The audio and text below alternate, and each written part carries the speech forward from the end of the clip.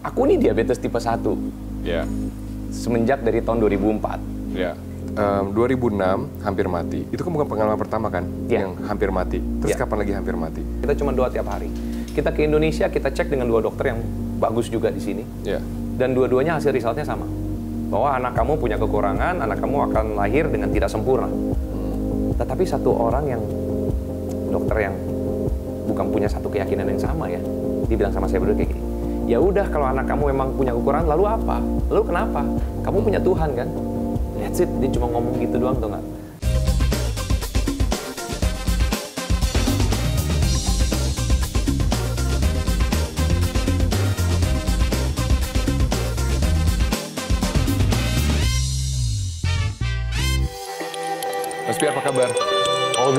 All good. Atau saya panggil sekarang apa? Pastor, Pastor Pierre. sekarang lebih familiar dipanggil apa? Mas atau Pastor? Pastor kan sekarang kan? Well, sebenarnya pastor itu panggilan karena tugasnya. Oke. gitu. Tapi semua kebanyakan teman-teman masih suka panggilnya tetap bro. Oh, atau, bro. Atau aku ada panggilan nama panggilan sih sebenarnya. Aku Iya. ada nama panggilan dari kecil. Jadi teman-temanku kecil tuh tahu kalau manggilku Lube. Lu B. Lube itu dari bule sebenarnya cuma dibolak-balik. B, nih Hauma. Wah, lagi homa. Kan udah jago ya, kan udah di Makau, berarti bahkan bahasa Kantonis kan? Iya betul. Udah Kantonis. berapa tahun? Berarti kalau saya hitung kira-kira 10 tahun, 9 tahun ya? Sebenarnya gini, aku awal ke sana itu dari mulai pacaran sama uh, istri aku sekarang. Jadi dulunya memang dia tinggal di sana. Hmm. Ya. Jadi kita selalu bolak-balik lah gitu loh karena pacaran awalnya. Ya. Nah, baru bener-bener tinggal for good di sana Ya. itu tahun 2009.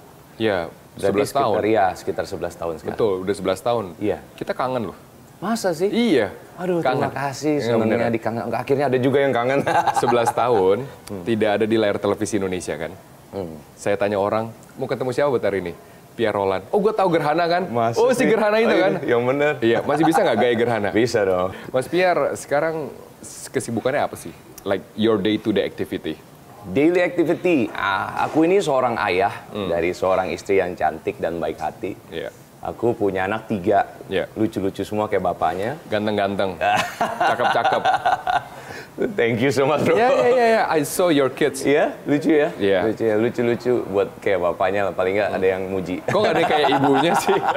Karena saya yang ngomong. Iya. Kalau ada ibunya, ibunya yang ngomong kan kayak ibunya. Iya, kayak ibunya. Well, anyway, anak-anak itu sekarang satu udah umur 12 tahun, hampir setinggi saya juga. Iya. Namanya Olivier D'Angelo Christie. Lalu yang kedua, Ezekiel Kramer Christie itu umur 9. Bedanya tiga tahun, tiga tahun. Dan yang terakhir yang paling kecil, paling imut, cewek. Iya. Jadi dua laki-laki, satu cewek. Yang terakhir yang paling kecil adalah Efrata Taylor Christie. Iya. Itu umur 6 tahun. Dan mereka amazing, karena amazing kenapa? Karena anak-anak ini bukan anak-anak biasa. Kenapa? Karena mereka lahir ke dunia ini nih, aku ngelewatin proses untuk mereka bisa benar-benar perfect gitu loh. Artinya kayak gini, em, aku ini diabetes tipe 1 Iya. semenjak dari tahun 2004. Iya. Dan eh, gula darahku tuh tidak teratur dengan baik. Oke, terima kasih. Thank you. Pak. Terima kasih. Tidak Gula- teratur dengan baik dalam artian Aku nggak ngerti cara over. handle-nya. Berarti kalau diabetes kan penyakit gula kan? Iya penyakit gula. Berarti berlebihan kan? Diabetes tipe Kandungannya. 1 itu artinya gini, ada dua tipe diabetes. Iya. Diabetes tipe 1 sama tipe 2. Iya. Nah, tipe 2 itu artinya dia punya pankreas tidak bisa menghasilkan eh, insulin atau enzim yang cukup sehingga dia gula darahnya naik. Jadi harus minum obat, harus ditreat. Tipe 1. Tipe 2. Tipe 2. Kalau tipe 1 itu kerusakan pada dia punya pankreas dikarenakan imun sistem tubuhnya. Oke. Dia menyerang pankreas tersebut sampai akhirnya pankreasnya rusak. Oke. Pankreasnya tidak berfungsi sama sekali. Iya. Akhirnya kita harus manual. Berarti aku harus suntik Iya. insulin harus dimasukkan sesuai unitnya, sesuai dengan berat tubuh, Ya. makanan yang dimakan, dan sebagainya. Oke. Tentu ada proses-proses berikut, harus check up dan sebagainya. Nah, dulunya tuh aku nggak ngerti, bro. Oke. Aku nggak ngerti. Bentar, yang lebih parah tipe 1 atau tipe 2? Sebenarnya dua-duanya kalau you nggak ngerti pasti parah. Oh, jadi ini bukan karena eskalasi tipe 2 itu bukan ya? Beda sama cancer. Kalau cancer kan stadiumnya makin tinggi, angkanya berarti makin parah kan? Tipe satu bisa terjadi sama siapa aja.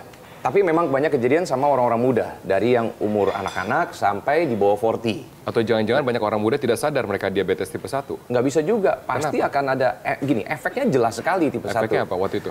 Waktu pertama-tama waktu saya pas eh, pas eh, saya mulai sakit, Iya. saya mulai ngerasa kayak kok sering haus, Oke. terus lalu sering capek lemes, badan habis. Badan habis itu itu kurus? Habis. Oh, ya? Aku badanku pertama dari 86. Aku emang waktu itu lagi coba diet kan. Betul. Olahraga terus turun sampai 74 oh masih seneng. Tapi Hmm. kok turun terus 70, terus dulu 60 sekian. Yang terakhir itu tuh aku paling parah, titik paling parahnya tuh aku 54, 54 kilo. 54 kilo. Itu tahun berapa? Itu awal-awal kita church planting di sana tahun 2009, 2010 kali. It- itu kan jauh dari media Indonesia ya? Ya, Ya, kalau media Indonesia pasti bilang, wah jangan-jangan Pierre Drugs. Roland drugs. Iya. Ngobat nih. Iya. Ditanyanya juga Iya. gitu sih. Bener kan? Oh, Iya. bener ya? Iya, ditanyanya gitu. Iya. Emang bener ngobat, tapi ngobatnya insulin. Oh, iya, iya, Obat bener. dokter beneran. Obat bukan narkoba. Iya, Iya. bukan narkoba. Nah, karena nggak bisa kontrol, nggak bisa ngatur, Iya. waktu itu aku sempat parah. Dari 2004 itu udah bolak-balik check up rumah sakit rumah sakit. Aku punya dokter yang sangat baik yang udah almarhum sekarang. Dia take care aku banget seperti seorang ibu sendiri. Aku. Iya. punya keluarga yang backup aku, support aku juga. Hmm. Lalu terus di 2006 u- satu bulan sebelum pernikahan, aku masuk rumah sakit. Hmm.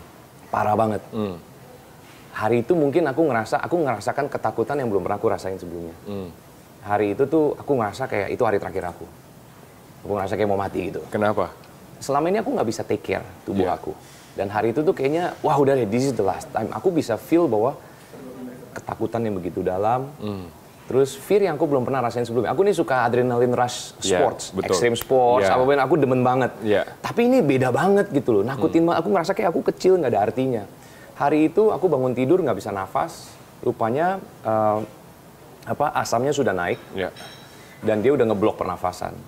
Terus akhirnya eh, dibawa ke rumah sakit, Hmm. di lay down nggak bisa, duduk nggak bisa, kasih pernafasan nggak bisa, dan aku cuma pikir bahwa this is the last day. Hmm. Nah, yang aku belajar banget kenapa aku bilang tadi anak-anakku spesial gitu. Loh. Uh, aku ngelewatin proses sebelum aku menikah, sebelum punya anak untuk ngelewatin suatu proses itu dulu. Hmm. Iya. Aku ngelihat value hidup, harga sebuah hidup. Ya. Hidup ini mau ke mana dan mau apa yang mau dilakukan. Iya. Nah hari itu tuh aku uh, di luar yang biasanya pacarku masuk untuk standby which is istriku sekarang Boni. Iya. Iya. Tapi dia nggak masuk. Setelah Kenapa? beberapa bulan kemudian aku tanya sama dia, kok kamu nggak nggak masuk sih? Dia Maksudnya bilang, masuk ke mana? Masuk ke dalam ke ruangan. Dia biasanya selalu sit di samping aku nungguin aku Di rumah sakit? di rumah sakit. Oke. Karena aku keluar masuk ICU itu udah biasa sering banget. Iya. Tapi kok enggak? Karena dia bilang gini, karena aku di luar doa buat kamu. Wah, aku bangga banget kan. Wah, thank you buat doa kamu. Kamu doa apa sama Tuhan?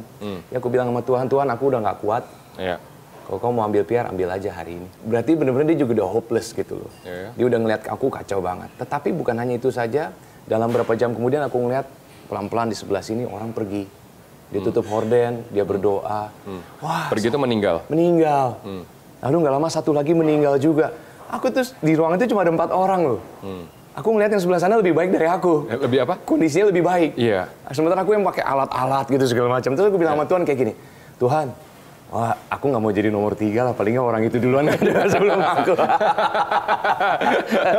aku nggak bilang bahwa aku kayak misalnya, oh aku nggak akan lewat kematian. Aku kayak sure banget tuh bakal mati gitu loh hari itu. Seyakin itu ya? Yakin itu. Berarti itu that's the lowest um, apa condition of health selama hidup. Ya. Dan ternyata di situ hari itu juga di subuh-subuh aku ingat banget dokter datang ke keluarga aku dan katakan mereka harus lakukan tindakan sama Hmm. Iya, aku. iya. Mereka minta tanda tangan, keluarga nggak berani tanda tangan dan mereka katakan kita doa dulu deh. Iya. Ada ibu aku, kakakku dan beberapa orang yang lain, ada orang gereja juga mereka berdoa dan finally mereka ngambil keputusan jangan. Jangan apa? Jangan operasi? Jangan dioperasi. Kenapa? Lakukan yang lain. Coba dok lakukan yang lain. Kenapa Dokter ini risiko terlalu besar? nggak ngerti tapi mereka karena gula darahnya terlalu tinggi. Iya. Kamu mau bikin lubang Oke. Kamu bikin lubang dan itu jadi problem gitu loh buat keluarga nanti gimana kalau misalnya itu jadi membekas, Betul. cacat dan sebagainya. Ya.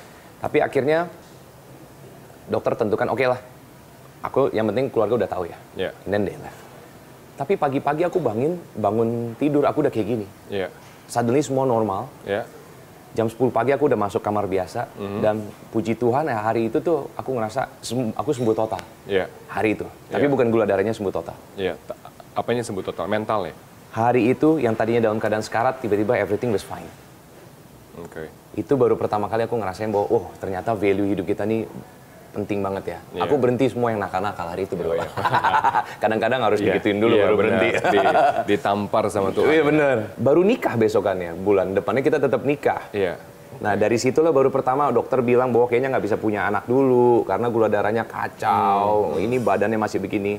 Nah baru anak yang pertama ternyata setelah kita nikah tiga bulan istriku udah hamil dua bulan. Iya. Jadi sukses yang pertama. Iya. Itu yang saya bilang anak itu lahir sempurna, namanya Olivier. Iya. Ya, kayak tadi lucu kayak bapaknya juga, Iya, kayak bapaknya. dan perfect Tuhan kasih dia. Iya. Dan aku ada kisah-kisah yang lain, nah, aku mau ceritain juga nanti Iya. tentang nomor dua, nomor tiga. Benar, tapi yang saya, saya pengen tahu sekarang, ya seberapa krusial suntikan insulin dan juga makanan harus dikonsumsi tiap hari. Boleh nggak saya lihat kotak obatnya? Boleh, aku ada di sini. Iya. Ini Aku- tidak boleh ketinggalan, Ini nggak boleh ketinggalan. lifesaver. Um, at the moment, yes. Iya. Karena benar-benar kita harus manage gula darah kita dengan baik. Hmm. Jadi dari mulai uh, pagi ke cek Iya. darah dulu. Aku ada alat-alatnya, bro. Aku tunjukin ya. Boleh. Oke. Ini setiap hari kan harus Setiap dibawa, hari. Yang pasti aku sedia insulin. Boleh lihat? Insulin. Hmm. Insulinnya ada dua tipe. Ya. Aku suntik yang ini uh, sehari tiga kali. Ya. Ini buat uh, fast acting. Jadi ini short acting. Jadi dia kerjanya cepat. Ya. Dan minimum tiga kali. Artinya kalau misalnya pun di tengah jalan aku harus uh, suntik ulang karena mungkin ketinggian atau apa, aku juga lakukan lagi. Aku Oke. tambah ekstra. Itu per jam atau se- setelah? Sebelum makan. Dan ini yang tengah malam. Ini suntikan untuk uh, namanya long acting. Hmm. Jadi dia uh, bekerjanya sekitar 24 jam. Jadi background insulin untuk Iya. berjaga-jaga di belakang. Jadi dia slow naiknya. Kalau yang Iya. ini peak bisa naiknya. Gitu. Berikutnya Iya. udah pasti ada yang namanya buat checker. Oh, ya. Ini untuk? Ini buat tes darah. Ya.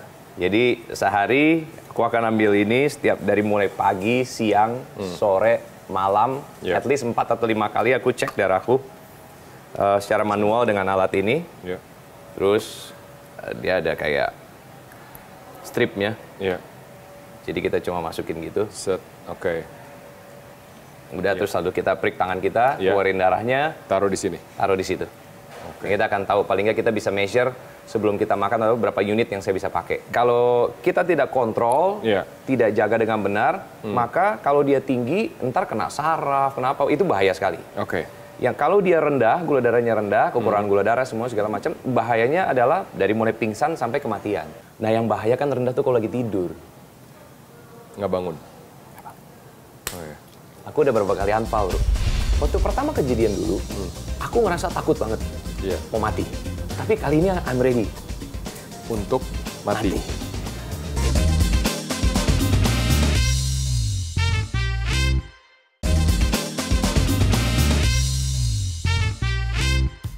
Sulit nggak mau maintain gaya hidup dengan kondisinya sekarang? Makanan apa yang dikonsumsi? What do you eat? Makanya gini, yang pasti aku semenjak aku pindah juga ke sana, makananku udah berubah semua. Aku dulu kan lebih yang karena makanan di keluargaku tuh yang lebih manis. Iya. Aku aku lebih makan manis karena kan mamaku ada ada influence Jawanya juga. Iya. Jadi lebih makanan-makanan yang taste-nya lebih ke manis. Saya paling demen tuh somai sebenarnya. Somai. Ya, I know. Yes. Sampai sekarang? Saya tuh nggak bisa ngeliat tukang somai. yang naik sepeda. Iya beneran. Iya, jalan Itu kring, kring, kring, kring. Kalau lewat tuh langsung ada sesuatu yang mengalir di dalam tubuhku. Kayaknya langsung stop. doang. Tapi emang boleh makan seperti itu sekarang? Eh, sekarang gini, makanan itu kan semua jadi karbo juga. Betul. Makanan yang kita konsumsi, apa pun itu, waktu masuk ke dalam tubuh kita kan diproses. Iya. Nah, justru kita harus ngatur dengan benar. Nah, karena sekarang saya manual, suntik insulinnya manual, tentu saya sesuaikan dengan makanan yang saya makan Hmm. Iya. asupannya. Oke. Nah, sekarang udah mulai bisa ngitung lah, karena kan bisa ngecek darah, Iya. tahu darahnya lagi seberapa, Iya. berarti butuh insulin, injeknya seberapa. Jadi banyak kan hitung-hitungan gitulah, bro. Setiap hari itu berarti kalau bisa saya katakan PR banget ya. PR banget sih. Untuk menjalani hari per hari makanan dihitung, suntikan dihitung, jamnya juga dihitung. Ya, PR banget tapi jangan dibikin sulit lah ya. Hmm. Kalau dibikin sulit juga semuanya jadi stress out. Aku 10 tahun pertama aku jujur aku stress out. 10 tahun pertama. Didiagnosa tahun 2004. No, 2004. 2004. 2006 itu masuk rumah sakit mau mati. Iya. Tapi hidup lagi. Tapi hidup lagi. Terus Hidup du- kedua. Hidup kedua. Berapa kali ngalamin eh, yang parah juga seperti Iya. gitu. Tapi di 2014 tuh baru aku tuh bener-bener tuh Menerima. kayak kayak bukan ya bukan menerima sih kayak misal aku kayak gini. No, Berdamai. I think I have to move on nih. Dari aku harus stand up nih. Karena aku dapat satu ayat sih. Aku baca satu ayat dikatakan cuman kayak gini. "Eh, penyakit ini tidak akan membunuhmu, tetapi akan memuliakan namaku. Di situ aku ngeliat kayak gini. Siapa sih yang lebih besar dari Tuhan gitu? Hmm. Aku waktu itu emang udah melayani juga, aku udah udah ngelayanin gereja juga udah gitu. Cuma it's tough untuk ngelewatin hidup yang tiap hari tuh diatur, digini repot banget gitu loh. Tapi semenjak hari itu sampai hari ini, aku flow malah lihat aku malah sehat lagi. Iya. Apa semua tubuhku baik, keadaan baik dan malah semua yang kurang ya. Waktu itu Iya. kan komplikasi banyak komplikasi. Iya. Komplikasi ini itu sampai mata dan segala macam itu bisa uh, apa? Aku ngalamin mujizat which is totally okay, fine, sembuh. Em, 2006 hampir mati. Itu kan bukan pengalaman pertama kan Iya. yang hampir mati. Terus Iya. kapan lagi hampir mati?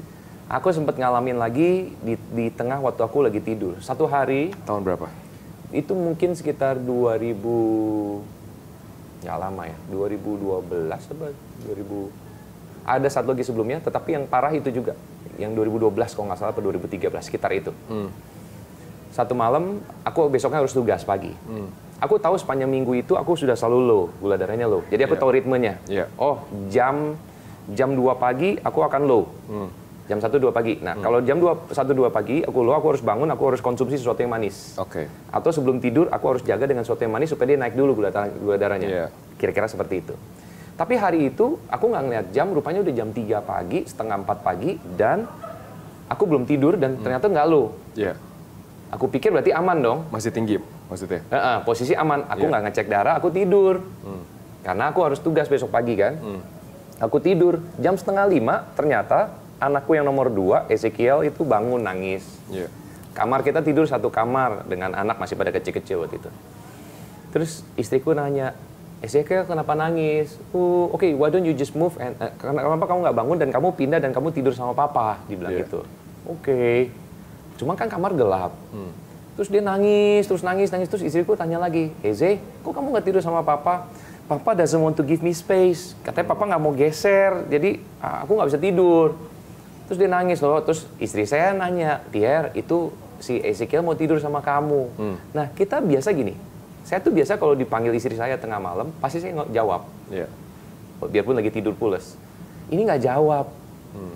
Terus panggil lagi, Pierre, Pierre, nggak jawab. Terus waktu dinyalain lampu, rupanya dalam keadaannya katanya ya mata saya udah kebuka, matanya kebuka, tapi udah keringetan basah gitu, saya juga udah nggak tahu. Tapi sadar nggak? Nggak, Nggak sadar. nggak sadar. Aku nggak sadar sama sekali, jadi buru-buru cepet-cepet. Nah, mestinya tuh ada step by stepnya. Ada suntikan khusus yang harus diberikan. Tetapi kita nggak punya saat itu. Jadi istri saya memaksakan dengan memasukkan eh, cairan gula.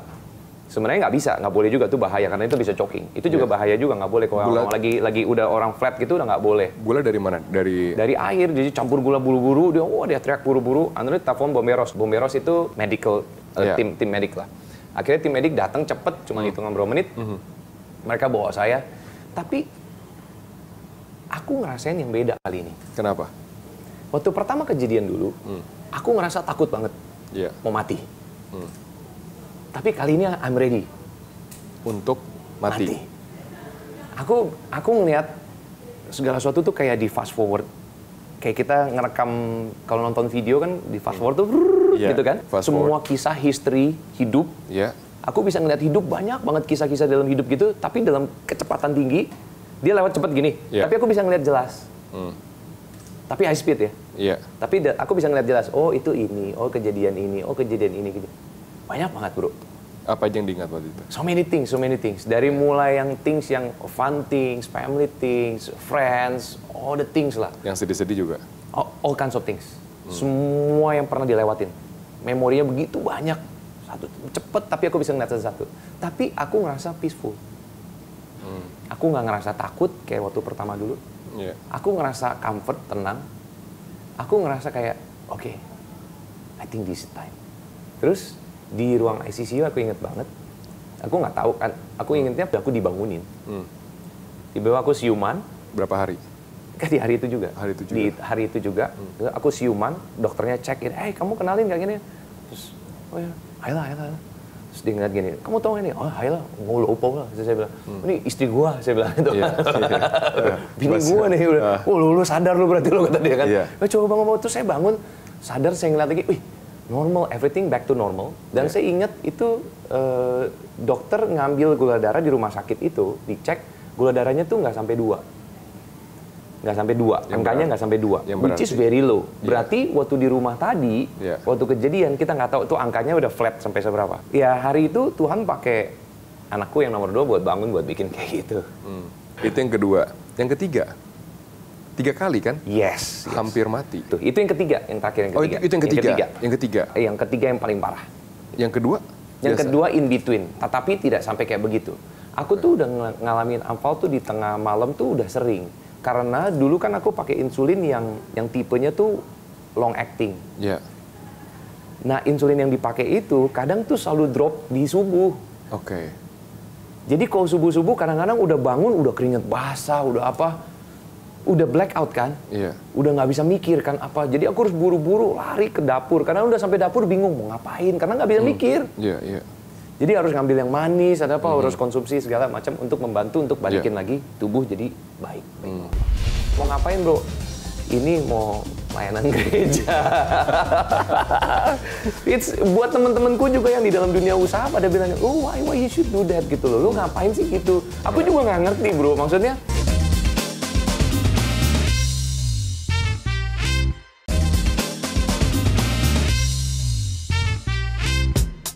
Pada saat didiagnosa diabetes tipe rasanya apa? Marah, nggak terima, mengapa, mempertanyakan, atau ini pasti karena kayak hidup. dia hidup, Denial. denial, Aku tuh memang dulunya aku tuh peminum. ya, Aku minum. Aku Alkohol. peminum. Alkoholik. hmm, Aku ngerokok minum kuat banget. hmm, Ta- tetapi aku nggak mikir ke situ. Hmm, Aku kayak terus tapi aku suka olahraga. iya, So aku pikir aku sehat kok nggak masalah nih kayak iya. flu aja paling. asal diimbangin gitu ya, ya, will be okay, will pass by okay, lah. iya. Jadi waktu baru keluar rumah, saya paksa diriku untuk olahraga lagi, untuk hidup normal Hmm. lagi segala. Tetapi yang lainnya juga jalan lagi ngerokok sama minumnya. Jadi lanjut juga. Jadi lanjut juga, setelah em, hampir mati yang pertama kan, Iya, berarti hampir mati pertama besok sembuh nggak kapok, nggak kapok. Oh no no no, Bukan. ini, ini sorry. Yang pertama itu kan gini, yang pertama itu udah udah dua tahun kita sakit. oke, Jadi ini yang awal sekali itu tahun 2004. oke ini awal banget, Ya awal banget, baru pertama kena 2004 kan Iya. nggak ngerti sama sekali juga. iya, Jadi pikir cuma sakit biasa, flu pasti pass by. iya, Saya denial karena gini loh, dulu saya nggak takut jarum sampai takut sama jarum. Tapi aku harus suntik. iya, Jadi kadang-kadang kalau mau nyuntik aku belaga. Oke bentar ya, aku masuk ke kamar gitu, nggak keluar-keluar 30 menit. mau nusuk tuh kayak, nusuk sendiri, insulin, iya. oh ya, Kayak tusuk, nggak tusuk. selama masa denial itu, bawaannya marah, bawaannya nggak mau diajak ngomong mengenai kesehatan, bawaannya tidak mau Jangan ditanya, sensitif. sensitif kan? Sensitif Pasti, banget. pasti, Karena aku ngerasa setiap orang di pinggir aku cuma ngeguruin. termasuk istri. Semua orang aku nganggap cuma gitu. Ya istri kan saya gini, udah cek belum? Udah suntik belum? Berapa gula darahnya? Hmm. Iya. Kok udah nanya gitu kan jadi sebel gitu loh. Iya, benar. Kalau karena kalau kita ngomong jelek pasti dimarahin. Iya, Kalau tidak sesuai ekspektasi pasti komplain, komen dan sebagainya. iya, Dan kita nggak bisa ngasih yang sempurna terus kan. Betul. Dan sering kali waktu kita cek emang hasilnya jelek jujur. iya, Kalau sekarang kita udah bisa ngaturnya, sekarang kita bisa terima. Kalau jelek juga kayak, ah it's okay, kita langsung bisa ngatur segala macam. Berarti penyakit ini kemudian mengubah mindset, sekarang menjadi seorang penginjil. Loh, kalau aku sekarang kayak gini bro, menginjil itu sekarang gini, itu it's a calling, oke? Oke. Tapi kalau masalah Before sakit, or after penyakit? aku eh, bener-bener full untuk melayani itu di 9. Berarti setelah penyakit kan? Tapi bukan karena sakit, gini terus satu melayani, no, bukan Enggak. karena itu. Hmm. Tapi karena aku punya satu faith, aku punya punya apa ya, satu keyakinan gitu loh. Iya. Bahwa Tuhan tuh udah terlalu baik dalam hidupku. Tadi kan kemarin kan aku, aku cerita bagaimana yang pertama, anak yang Iya. pertama. Iya. Ya kan, Tuhan kasih sempurna. Lalu yang kedua tuh juga ada kisah Kalau tidak salah didiagnosa Down syndrome ya, didiagnosa Down syndrome. pada saat di kandungan. Ya, dan itu kami prepare diri kami. Jadi kami nggak against untuk Down syndrome, nggak. Kami kayak gini, oke kita harus terima bagaimana gedein anak sekarang caranya. Kalau sudah Down syndrome berarti apa yang harus kita lakukan? Kita cuma doa tiap hari. Kita ke Indonesia, kita cek dengan dua dokter yang bagus juga di sini. Iya. Dan dua-duanya hasil resultnya sama. Bahwa anak kamu punya kekurangan, anak kamu akan lahir dengan tidak... Tetapi satu orang yang, dokter yang bukan punya satu keyakinan yang sama ya, dia bilang sama saya berdua kayak gini, ya udah kalau anak kamu memang punya kekurangan, lalu apa? Lalu kenapa? Kamu punya Tuhan kan? That's it, dia cuma ngomong gitu doang tuh nggak? Aku pulang, aku cuma punya hati yang besar sih. Nah, hari terakhir sebelum dia dioperasi, istriku dioperasi, malam itu dokternya nggak ada, cuma ada dokter jaga. Dokter jaga bacain semua datanya. Oke, prepare ya buat tomorrow, buat operasi pagi. Terus dia bilang ini, kamu tahu kan ya bahwa anak kamu akan lahir tidak sembuh. Hmm. Jadi siapkan diri kamu untuk itu. Jadi masih diingetin lagi bro, udah udah tinggal last minute. Terus saya ingat banget sama istri saya, ya udah kita doa dan malam hari itu saya ingat ada satu kata-kata yang Tuhan ingetin sama saya cuman kayak gini. Dan masanya akan tiba nanti ketika penghiburan dan kau akan tahu bahwa semenjak dari awalnya aku menyertai engkau dan kau akan bersaksi tentang aku. Dan dari situ aku ngelihat ternyata apa? Besokannya waktu lahiran dan ternyata waktu dikeluarkan hasilnya ternyata anak kami lahir dengan perfect. Tidak Down syndrome. Tidak ada kesalahan, tidak ada kekurangan, tidak ada apa lagi, tapi dia lahir dia menjadi sempurna. Anak yang kedua namanya Ezekiel. Sampai sekarang, he's Enggak. just a perfect boy. Saya bilang dokter nggak salah.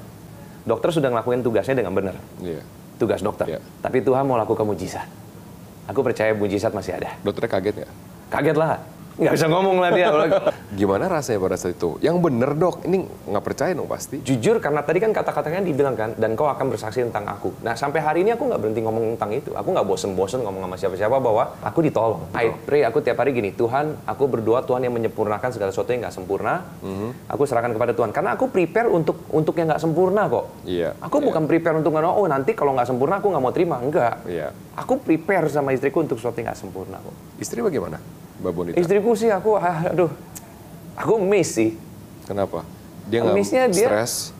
Tentu nggak gampang lah ngikutin aku gini. Iyalah. Pertama, waktu aku sebelum menikah kan aku sakit. Iya. Dia juga mau ngambil kesempatan, oke nggak apa-apa aku mau nikah sama dia. Iya. Oh, dokter semua orang bilang nggak bisa punya anak. Tapi ternyata pertama Tuhan kasih anak. Iya. Kedua, di dalam di dalam aku berkarir, berusaha, tiba-tiba di tengah jalan kan dan Aku nggak bangkrut, aku serah terimain company Semuanya. itu. Terus aku bilang sama di board di di meeting aku bilang bahwa aku akan stay di Makau. Oh, pikir mereka mau mulai company lagi atau apa? Mau ngapain, Bro? Ini mau pelayanan gereja.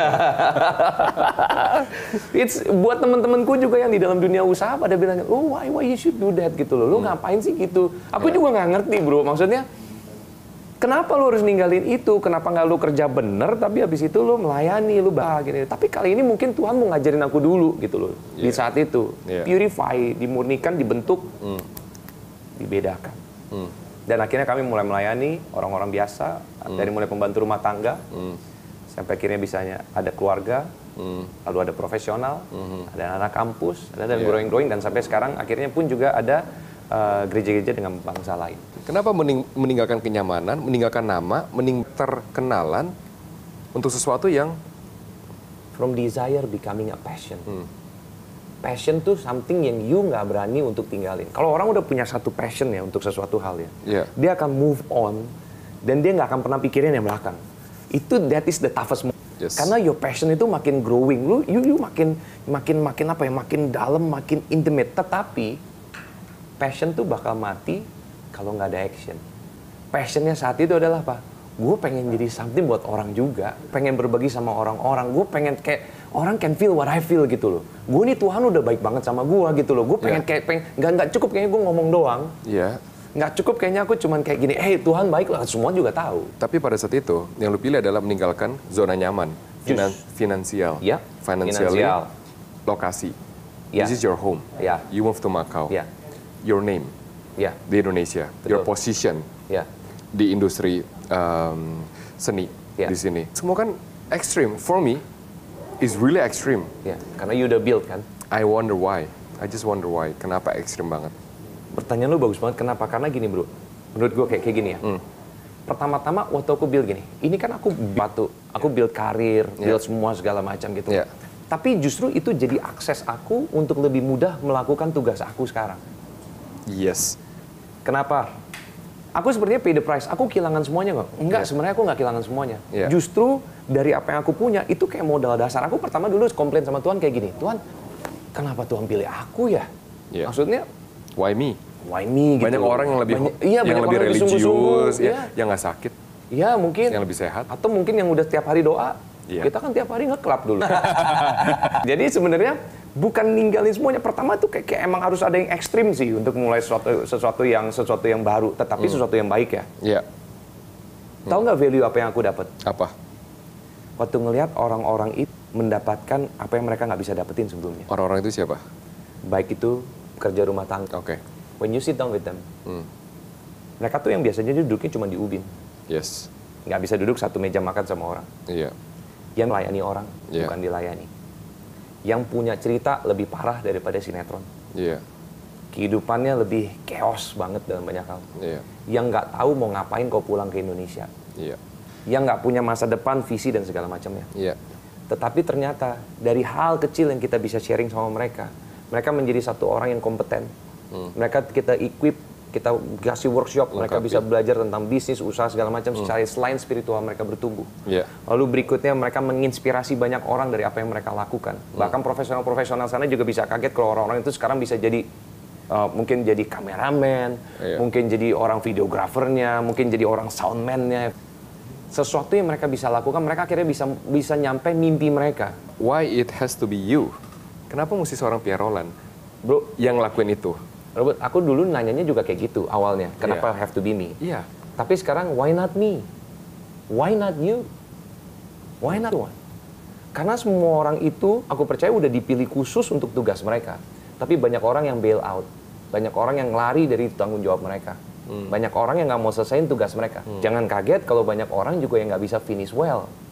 Tapi sekarang mau finish well, atau lu cuma mau mimpi one day when you get old, lu cuma mikir, ah kenapa dulu nggak gua nggak lakuin ya?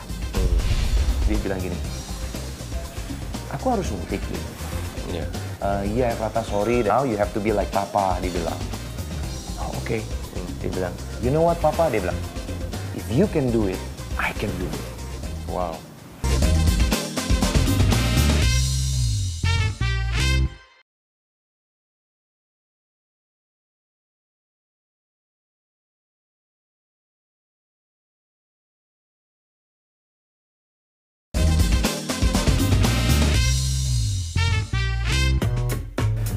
Kita tadi ngobrol mengenai Olivier.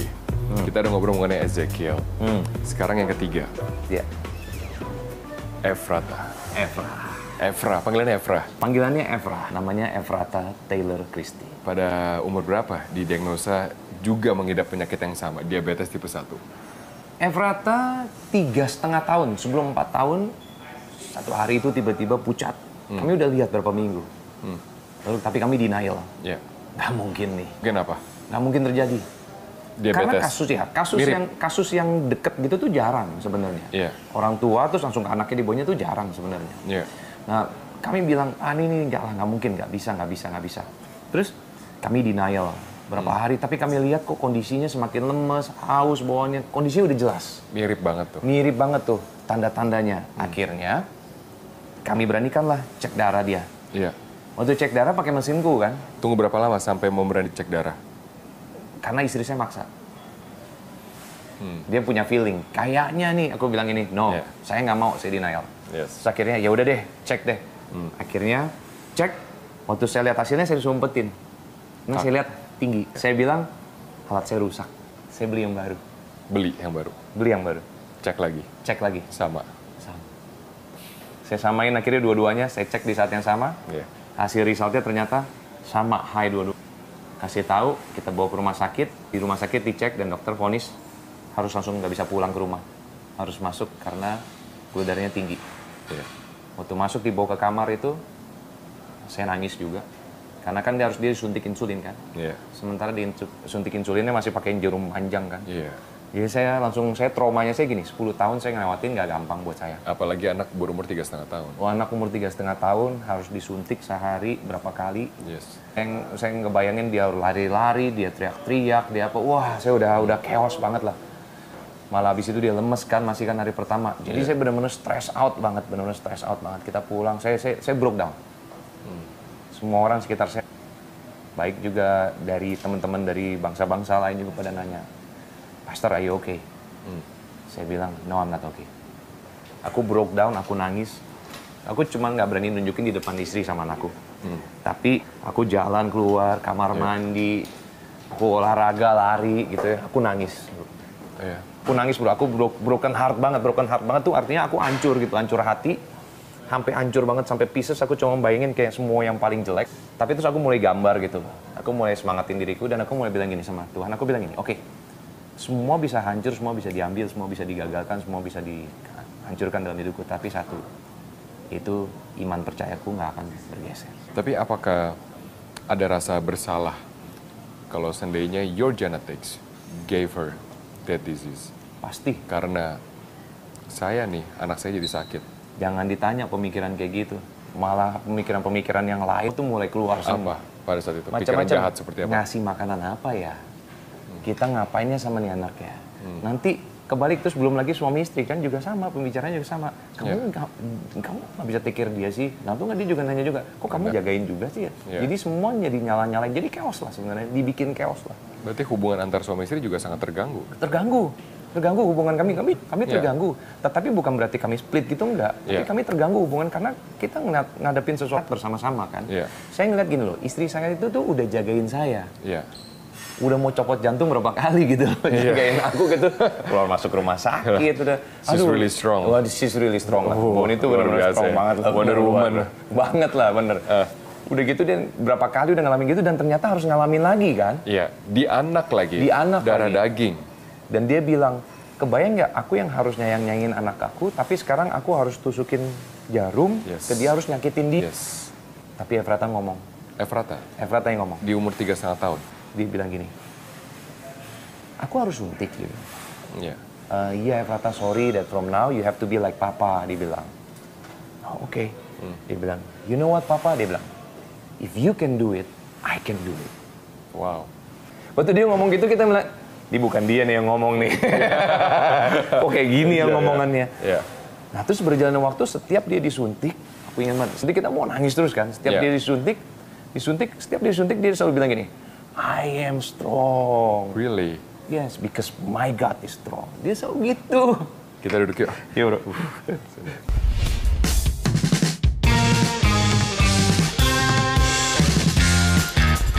Sekarang games deh. Jadi games ini ada banyak sekali tantangan-tantangan. Which is tantangannya adalah tantangan yang sangat random. Yalah Tuhan tolong Cocok. aku hari ini. Matching. Oh ya matching nih. Iya. Pink color. Yes.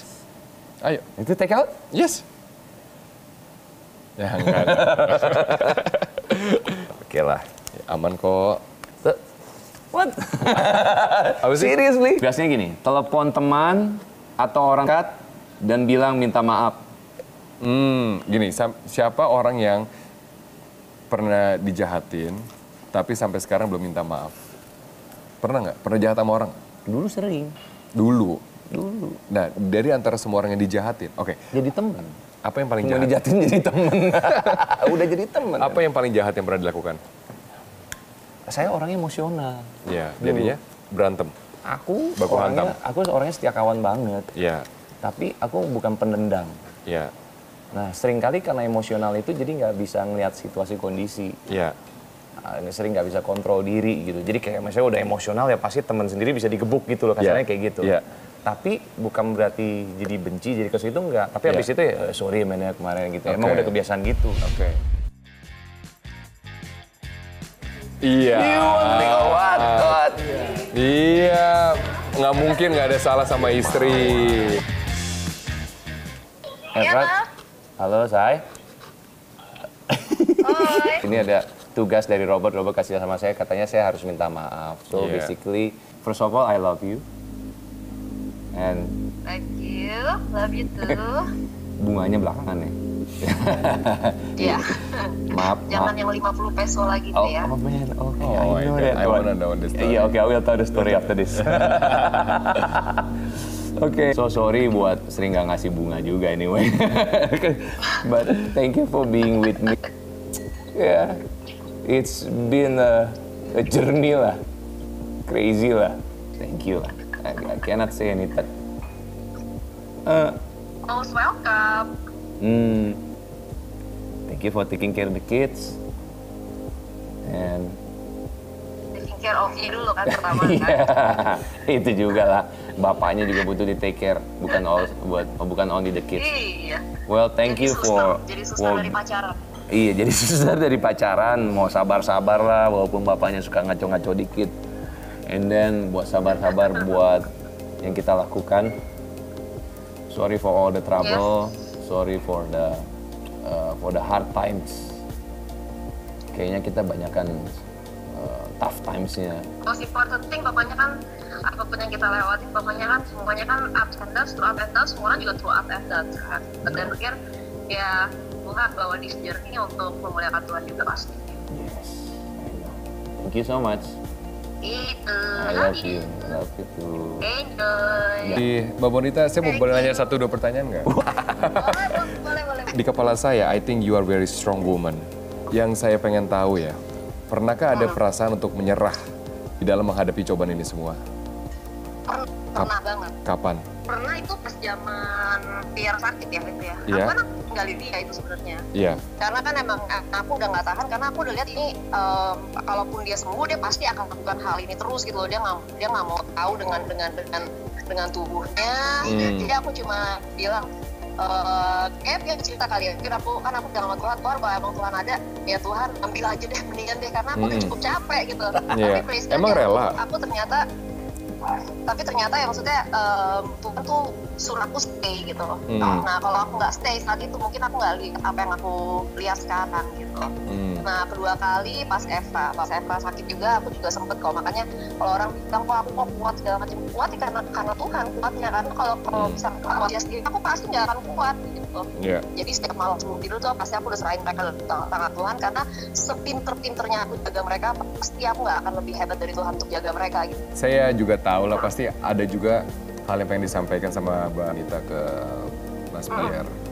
Aku aku lihatnya kayaknya kalau sesuatu yang aku mau sampaikan ke dia gitu ya. Kayaknya ada sesuatu yang Tuhan mau kerjakan dalam hidup dia yang dia sendiri nggak tahu apa dan dia mesti tanya Tuhan terus apa yang apa yang Tuhan siapin untuk di ke depannya untuk banyak orang. Dan aku harap dia bisa terus menggali apa sih yang apa sih yang seharusnya dia lakukan lagi untuk untuk orang banyak. Ya, bukan untuk diri dia sendiri. Ya, lalu keep doing the right things karena doing the right things bukan untuk hanya kepada orang benar sama dia aja ya. walaupun sama orang yang nggak baik atau siapa pun keep doing the right things karena itu hal yang paling menyenangkan di Tuhan dan itu pasti baik untuk setiap kita Amin. Nih. gitu So my wish is, I Yes. hope that we get closer by you coming back to Indonesia. Indonesia.